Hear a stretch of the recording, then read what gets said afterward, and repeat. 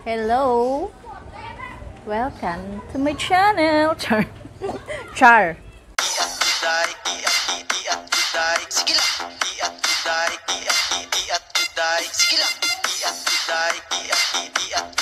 Sige lang. Ayun, ang pag-uusapan natin ngayon is about reuse content. Bakit nare-reuse content ako? Bakit nare-reuse content nang hindi naman ako nangunguha ng content ng iba? Content ko naman yon. Inayos ko naman yung pag-ed- pag-edit-edit ko doon. Bakit na-reuse content? Ang reuse content, hindi mo kailangang burahin meron solusyon dyan. Kung yung video na kinuha mo, eh, hindi pala sa'yo, na-risk content ka, yun, pwede mong burahin yon. Pero kung hindi naman 2,000 years kailangan burahin, kasi alam mo sa sarili mo na walang mali doon at sa'yo talaga yung content na yon. Tapos biglang, bakit na-reuse content ako? Hindi ko naman kinuha yung video ng iba, pero na-raise content pa din. Hindi ako nakapag-apply kay YPP. Bakit ganon? Ano nangyari? So, ito lang yun. I-review mo yung video mo. Tapos, i-cut mo yung video. I-cut lang ng kung ano ang kailangan mong i-cut doon sa mga videos mo. Cut it. And, kasi pag binura mo sayang yung views. So, pwede mo siya i-cut.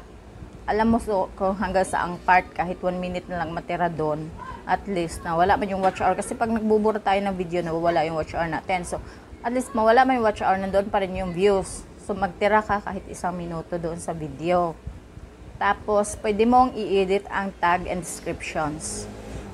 Kasi, merong mga nare-reuse content ka kahit sarili mong content, kahit sarili mong video dahil sa tags and description. Lalo ka, kapag halos may kaparihas na kaparihas talaga. So, pwede mong i-edit yon Ang ingay sa labas. Tapos, i-edit mo yung title mo. Titles. Kasi, pag mayroong katugma ang titles mo, pwede ka ring iharang ni YPP na hindi magiging partner nila dahil sa titles ng mga videos mo. So, i-edit mo yan. Tapos, maari ka ring na-reuse content dahil sa thumbnails mo.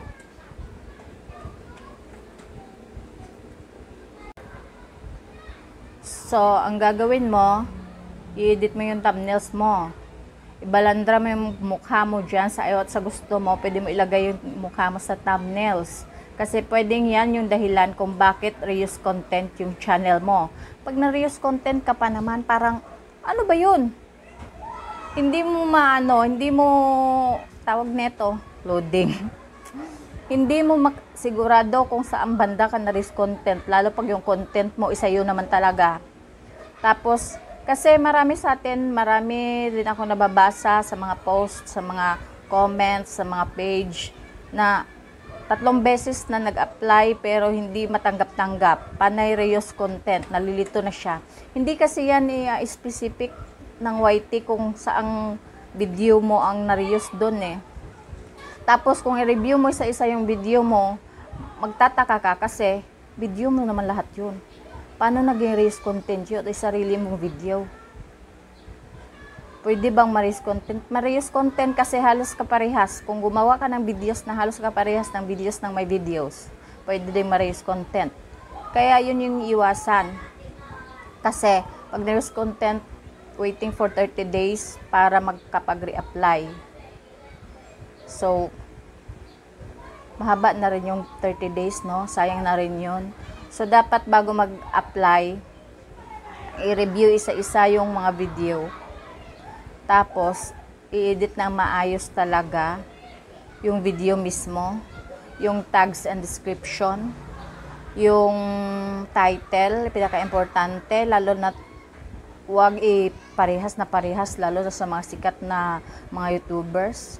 Tapos yung thumbnails na kailangan, yung thumbnails mo, related doon sa video mo talaga.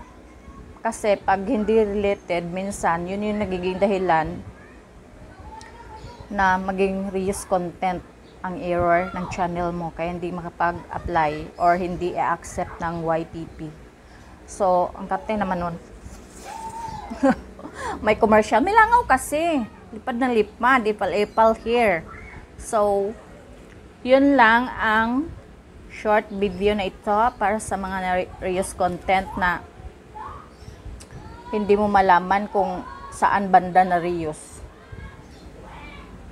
Yun lang po ang alam kong paraan para doon. At paulit-ulit na ako dito. Salamat sa iyong panunood. Bye-bye!